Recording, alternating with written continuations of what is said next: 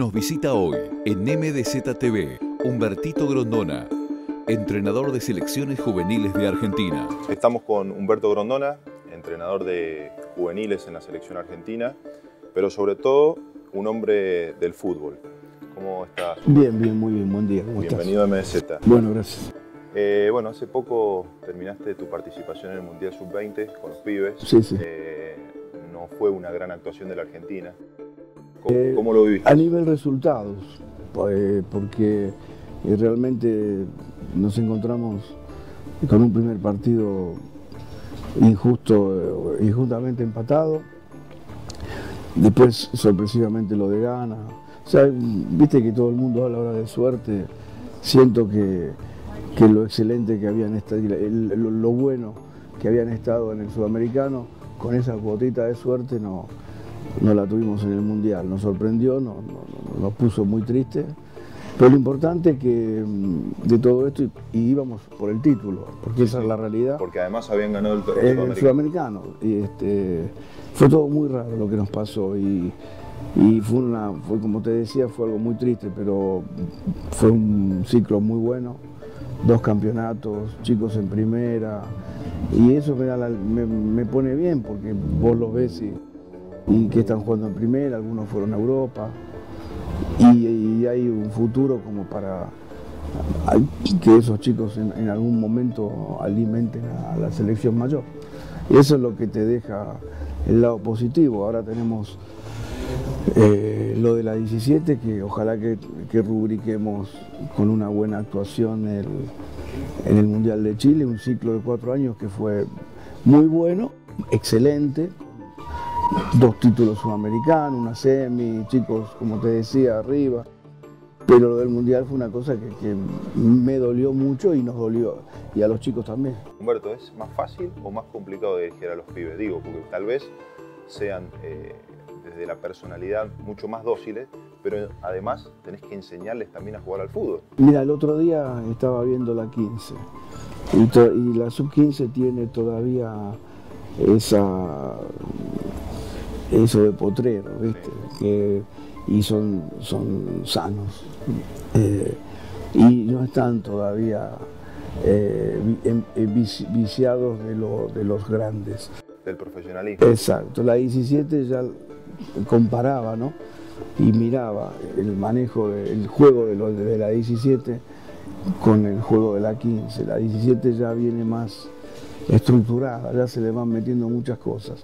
Y el entorno de esos chicos es, es bueno o malo. Y la del 20, Con la familia. la de la Y 20 la capaz que no mete la 20, pierna porque no, sabe que tiene un contrato no, adelante. pero la de 20 eh, es, eh, es muy complicado dirigirla porque no te lo dan los clubes.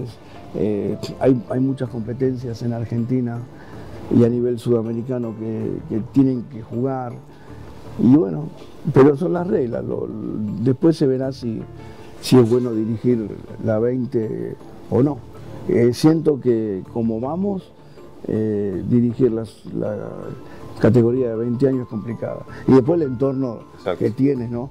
Los familiares, los representantes, el abuelo, el padre, la madre, el, el- que el clima de que todos quieren vivir del, del chico. ¿no? En esa edad se ve mucho. Te meto en primera división. La fecha 23, la que se va a jugar el otro el fin de semana. ¿Se tendría que haber suspendido? Y si te digo que sí, eh, no sé cómo, no recuerdo cómo fue siempre, pero eh, el, dirigente de fútbol eh, hace mucho tiempo que, no digo que es ventajero, pero sí que mira para su club. Entonces, al mirar para su club, eh, no le interesa lo que piensa el otro. Esa es la sensación que tengo. Y tuve siempre y, teníamos.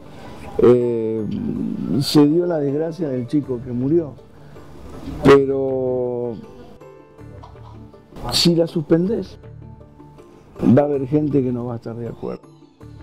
Si no la suspendés, va a haber gente que no va a estar de acuerdo. Entonces vos tenés que buscar lo mejor para los clubes. ¿Qué es lo mejor para los clubes? Ellos sabrán. Fue una votación apretada. Sí.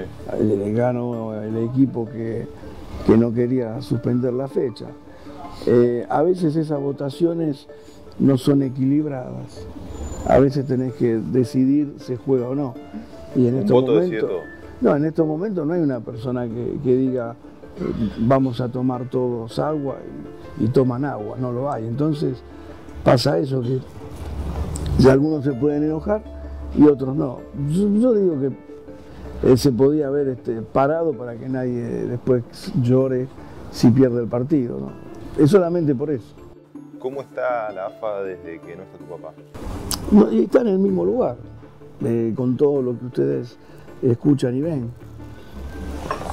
Eh, un año de, de transición donde fue complicado para Segura eh, encontrarse primero manejando un velorio, como lo hizo muy bien, porque era el, el- el hombre de- después de mi padre que estaba, y después al otro día arrancar con todo esto.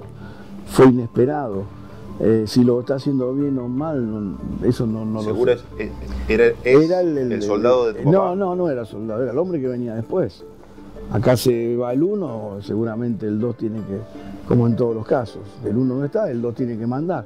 Y fue todo tan inesperado que, que no es fácil. este, y después, bueno, eh, cuando, cuando se va la persona que manda en todos los casos, en todos los órdenes de la vida, aparecen los, cuatro de copa, ¿viste? Los que nunca mandaron a levantar la voz. Este, entonces co- hay una confusión muy grande y, y se quieren hacer notar. Y, y eso es lo que está pasando. Amén de que, como te decía anteriormente, eh, sentíamos y yo- que, que, hay- el dirigente de antes era menos ventajero que el de ahora. Pero el de ahora tiene que justificar a la hinchada, al socio, al- a los medios partidarios. Tiene que estar bien con todo. Tiene que estar bien con todo, entonces viste, tiene que pegar los tres gritos. Para que digan, mirá cómo pelea, después si pierde o gana es otro tema. Y eso es lo que está pasando, hay mucha ventaja hoy. Eh, hoy y la hubo desde hace mucho tiempo. Antes no sucedía eso. Antes de, con dirigentes, los, los- los de experiencia, los de trayectoria, eran más solidarios. ¿Tinelli va a ser presidente de la AFA? Eh, si se presenta y gana y, y gana y lo votan, sí, como tienen eh, posibilidad de los otros. No sé cuánto sabrá, pero tiene, bueno, hizo todo lo que hizo para ser candidato. Espero que, eh, espero que sea candidato que se presente.